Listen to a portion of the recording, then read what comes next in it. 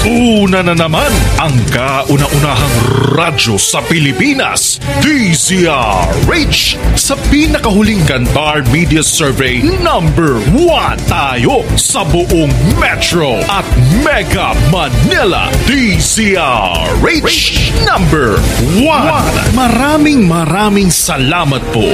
Sama-sama tayo, Pilipino, number 1.